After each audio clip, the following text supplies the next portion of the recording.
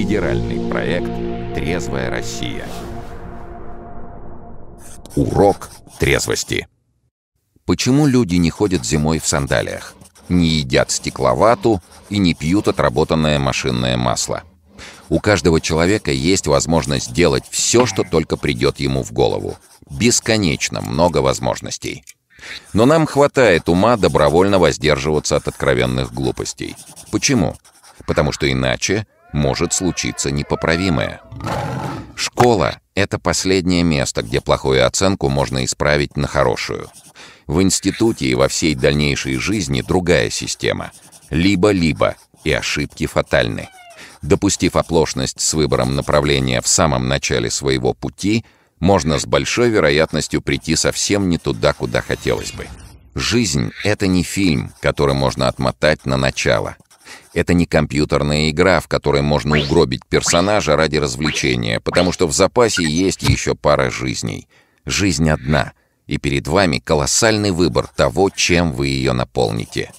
Тысячи видов спорта — бесчисленное множество хобби, интересные профессии, огромная страна, которую нужно посмотреть, и более 260 других стран. Однако статистика показывает, что 60% россиян, кроме всего перечисленного, регулярно употребляют наркотики. Вы удивлены? На самом деле ничего удивительного, ведь любой алкоголь по своей сути тоже является наркотиком. Смотрите сами. Слово «наркотик» происходит от греческого «наркотикос», приводящего цепенение. Греческое слово «наркосис» означает «ступор». Согласно определению Всемирной организации здравоохранения, ГОСТ 18300 от 1972 года. Этиловый спирт – легко воспламеняющаяся бесцветная жидкость с характерным запахом – относится к сильно действующим наркотикам, вызывающим сначала активацию, а затем паралич нервной системы.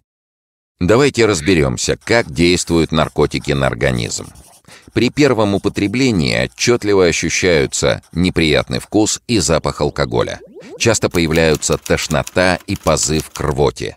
Организм прекрасно осведомлен о том, что употребление этого токсичного яда ни к чему хорошему не приведет – и рефлекторно пытается избавиться от него так же, как от нечаянно съеденной плесени или тухлятины. Но, как оказалось, обмануть организм несложно. Достаточно замаскировать запах и вкус яда отдушками и красителями, превратив этиловый ректифицированный спирт в веселенькую газировку. Добавить давление сверстников и наивный стереотип о том, что алкоголь открывает двери в мир прекрасных запретных наслаждений, и мы получим то, что имеем юных парней и девчонок, через силу вливающих в себя второсортное крашенное пойло и с нетерпением ожидающих, когда же откроются те самые двери. Получение удовольствия. У млекопитающих в мозгу существует так называемый центр удовольствия, который очень дозированно выдает нам радость в виде определенных гормонов. В тех случаях, когда мы делаем что-то хорошее, добиваемся цели или любуемся красивым пейзажем. Наркотики и алкоголь тоже воздействуют на этот центр. Нагло и бесцеремонно. А регулярные возлияния так его изматывают, что обычные жизненные радости не вызывают никаких эмоций. Так что жизнь становится довольно тоскливой, а между человеком и удовольствием появляется дорогой во всех смыслах коварный посредник. Стадия алкоголизма.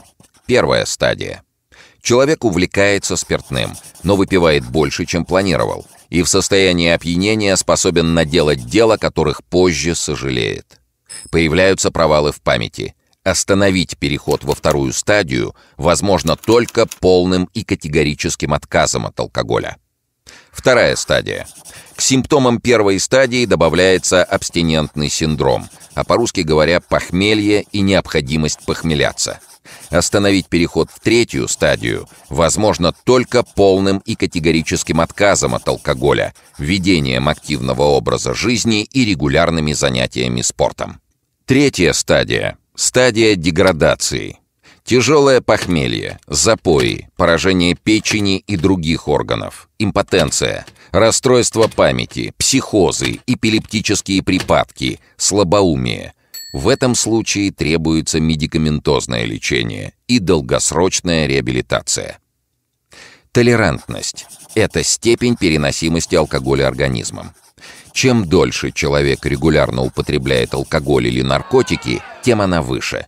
Важно понимать, что гордое заявление «я могу выпить много и не опьянеть» следует трактовать как «я ближе вас к слабоумию и импотенции». Помимо генетической, есть еще и этническая предрасположенность к алкоголизму.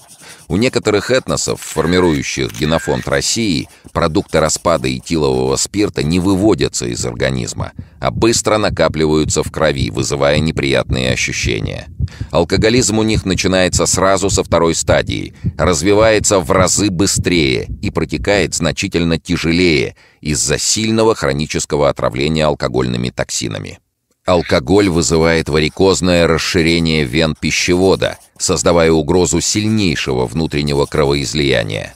Нарушая работу желудка, вызывает гастрит, язву и рак. Разрушает поджелудочную железу, кишечник, печень, сердце и мозг. Клетки этих органов отмирают, гибнут безвозвратно. Вместо них появляются рубцы, соединительные и жировые ткани. Слипшиеся под воздействием алкоголя клетки крови закупоривают капилляры по всему организму. Организм обезвоживается, а человек испытывает похмелье, механизм деградации и стремительного старения. Алкоголь приводит к перестройке гормонального фона. У женщин становится выше уровень мужских гормонов, у мужчин – женских. Это отражается на фигуре, тембре голоса и волосяном покрове. Кожа от постоянного обезвоживания становится более грубой и пересушенной, с выраженными порами, плохо поддающимися косметической маскировке. Со временем же происходят неврологические изменения, которые формируют характерный мимический рисунок. Одутловатое лицо, напряженный лоб, широко раскрытые и одновременно впалые глаза, под глазами мешки. Нижняя часть лица расслаблена, на носу и щеках видны красные капилляры – бесформенные толстые губы и глубокая носогубная складка. Зачастую алкоголь является катализатором половых отношений. И если для девушек это чаще является фактом, о котором позже они сожалеют, то молодым людям, как правило, сожалеть не о чем, кроме того, что алкоголь, усиливая желание, снижает возможности. Неприятные казусы становятся почвой для комплексов, отравляющих отношения с противоположным полом всю оставшуюся жизнь. Влияние на умственные способности.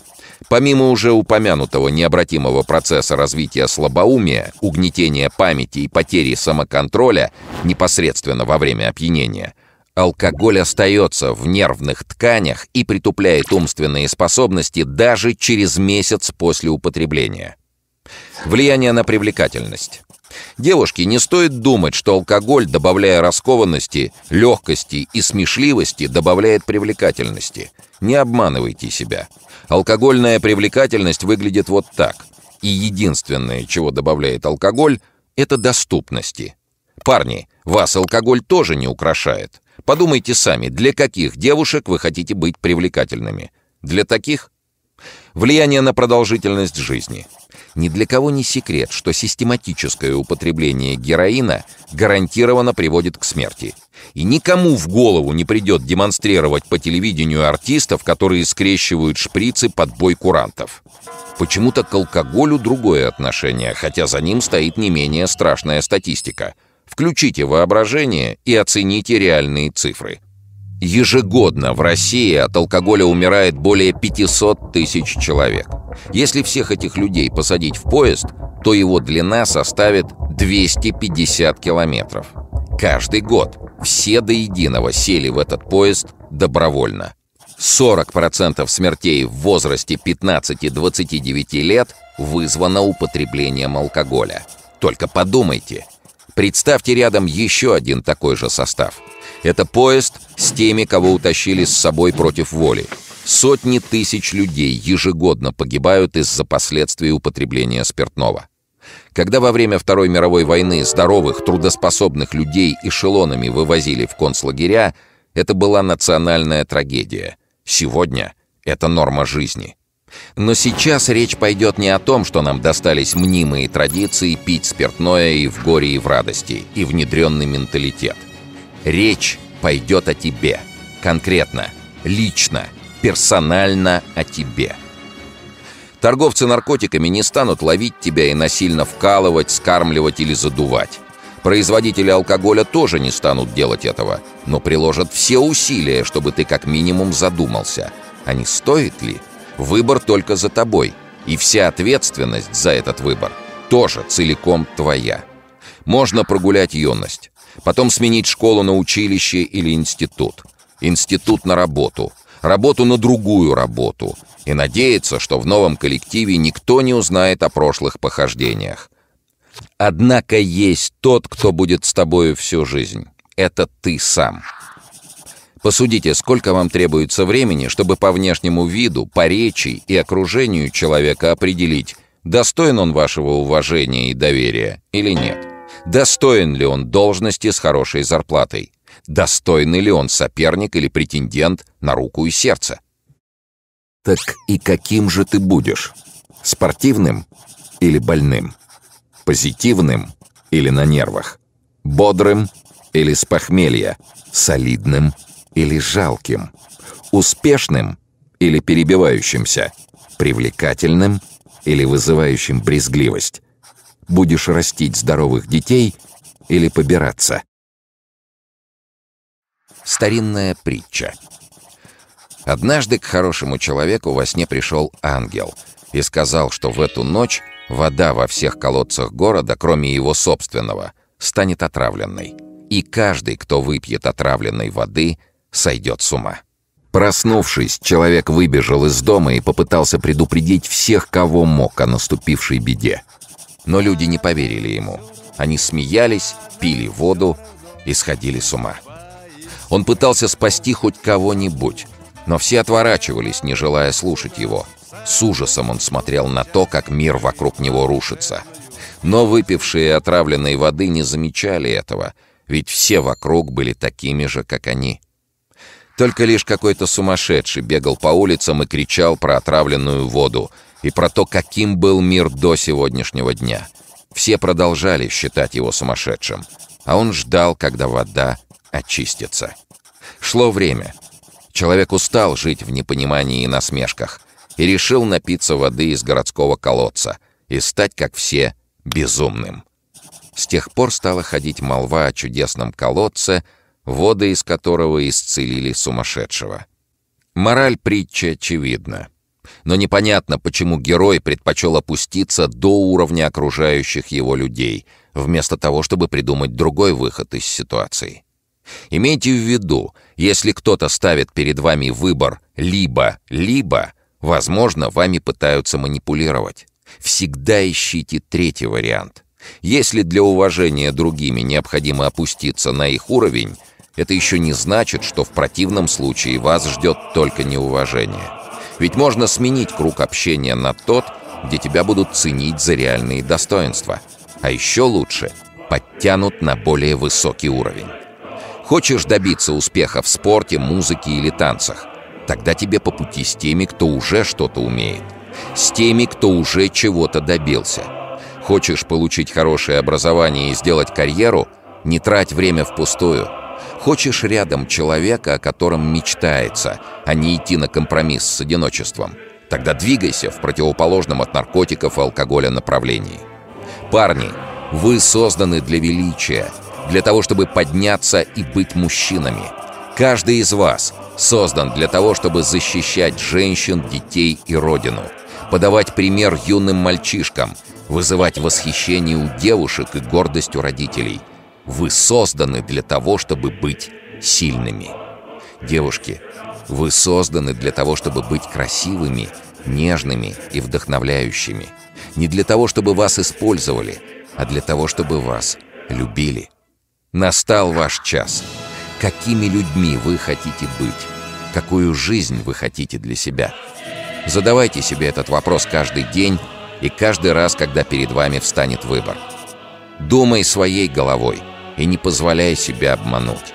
Будь сильным, будь выше всего этого. Дай отпор пропаганде деградации. Занимайся спортом, развивайся и вкладывай силы в себя и в свое будущее. Покажи своим примером, что молодость не значит глупость. Помни, выбор всегда за тобой. Федеральный проект «Трезвая Россия»